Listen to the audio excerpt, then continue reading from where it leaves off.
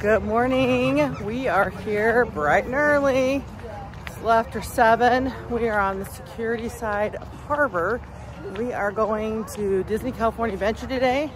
Um, and we're going to rope drop Radiator Springs Racers. We're gonna see how it works because now that early entry has changed and there are not going to be guests already in the park, we wanna see how, how it works because before I used to recommend rope dropping racers. But ever since early entry guests have been in the park, they got in ahead of you and it was kind of a waste of time in the morning. So let's see how it goes today. All right, we made it through security, really short lines. We were entering on the harbor side. Um, it's about 7.10. We are lined up here at the gates in front of Disney California Adventure because today, early entry, those that are staying on property, they have access to Disneyland a half hour early and you can still rope drop. Anybody can rope drop. Rope drop has not changed. Rope drop starts at 8 a.m., but you want to get here before that so you can get in the parks and get lined up.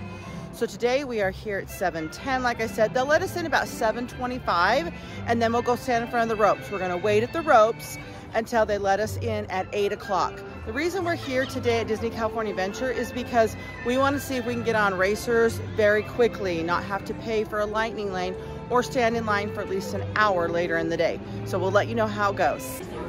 All right, 7.34 and they are letting us through the gates. We're gonna go rope drop Radiator Springs Racer. Hey, we are walking with purpose. We're just going over here to a rope because they're gonna stop us.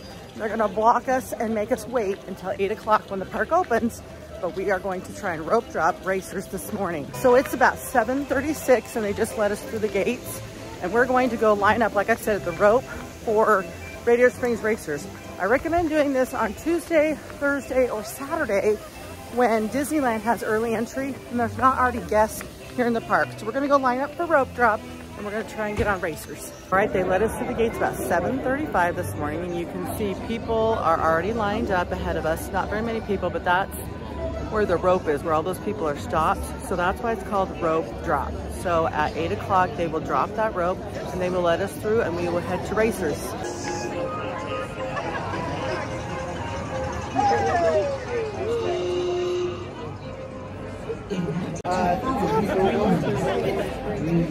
led to extraordinary achievements and wondrous adventures.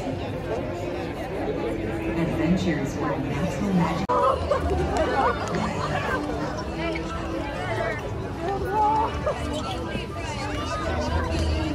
Walking. Please make sure you're walking.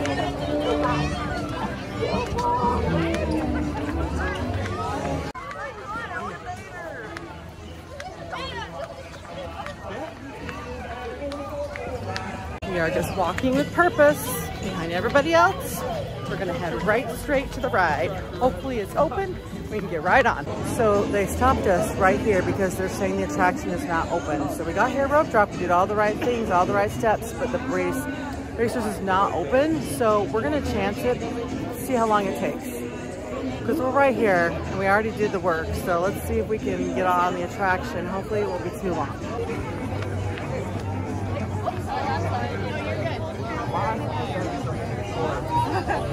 Okay, so they didn't tell us to walk away. Like, if the attraction really wasn't gonna open at all, like for an hour or so, then I would have bailed. And if I thought they like either said go away, but the fact that they didn't tell us to go away, I'm like, you know what, we're gonna stick it out. So it's now 8.17 and they just let us in line. So that was worth waiting for. Okay, so about 8.17, they let us get into the line for the attraction.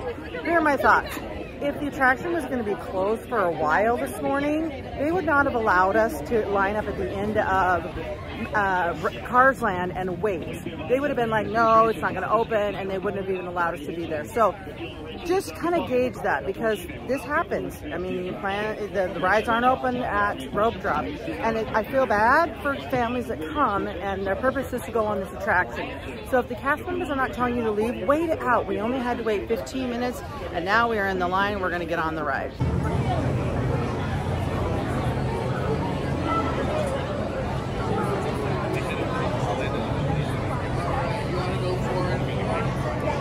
All right, first floor, row seven and eight.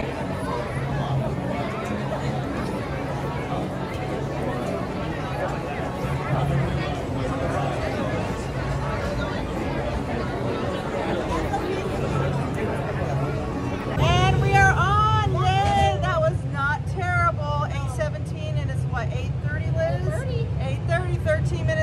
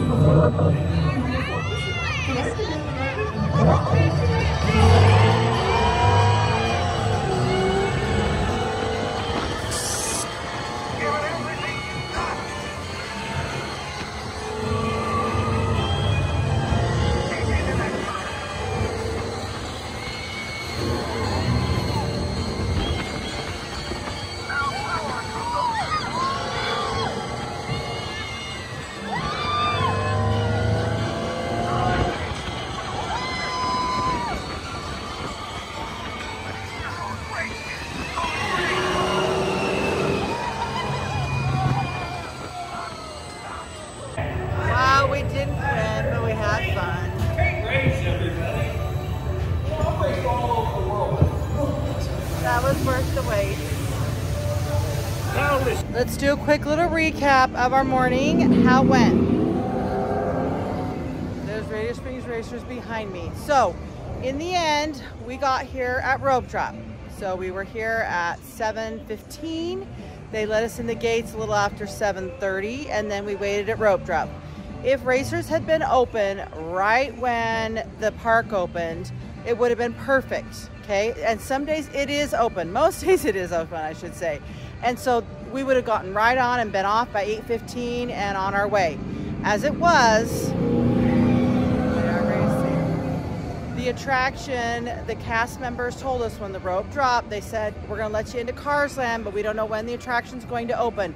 The fact that they let us line up, though, gave me hope that the attraction wasn't going to be closed for very long. Because if it was going to be closed for hours in the morning, they would have said, You can't line up, and they would have pushed us away. So we thought, you know what, we're going to wait it out. We've got this. We already put in the time. Let's do this.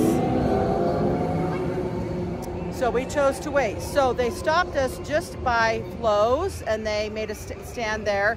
And about 8:17, then they made us line up again and just go single file into the line. And we were on and off the attraction by 8:30. So even 30 minutes after rope drop, we had completed the attraction. There. Right now, the wait time is 65 minutes, and we just got off the ride. So I do think it's worth it. If you can see them and they, they're telling you um, just wait, or they don't have an exact time when the attraction is going to open, I would wait it out. Give it a few minutes. For us, it worked out this morning. I know when you come on vacation, this is a big ride. So there are ways that you can there are ways that you can skip the line. You can purchase a lightning lane. Sometimes that's $20, $25 a day per person. We didn't do that. I really think this is the best strategy is on a Tuesday, Thursday, or Saturday to rope drop Radiator Springs racers.